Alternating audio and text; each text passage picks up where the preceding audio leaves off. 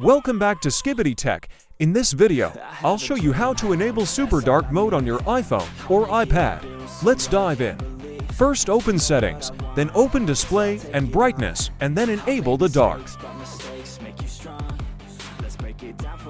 Now go back to the home screen, and then tap and hold on to the home screen to customize the icon settings.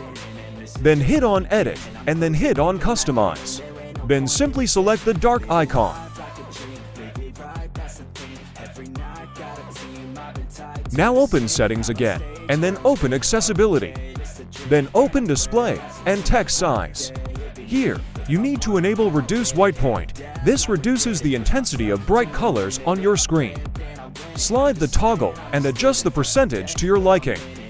And now you will see that you will have super dark mode on your iOS device. Now, if you want to switch between regular and super dark mode quickly, then let me show you how you can do this. First open the control center settings, then hit on plus sign, and then hit on add a control. Then type reduce white point, and then add the reduce white point into the control settings. And that's it. With these simple steps, your iOS device is now in super dark mode, perfect for nighttime browsing or just relaxing your eyes. If you found this video helpful, don't forget to like, subscribe, and share it with your friends. Thanks for watching.